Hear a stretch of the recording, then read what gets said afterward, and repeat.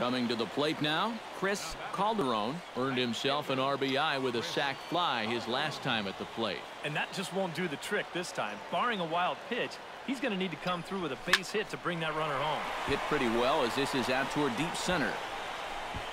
And that'll get down out there near the wall. And the runner scores from third as they extend their lead. Around third and being waved on home. And he will make it all the way around the bases. It's an inside the park two-run home run. Oh, those are fun to watch, especially sitting up here. We had a great view of this one, and you could see it developing pretty much right from the moment he touched first base. He's able to make it all the way around to score on the inside the park home run. Somebody get that guy some oxygen.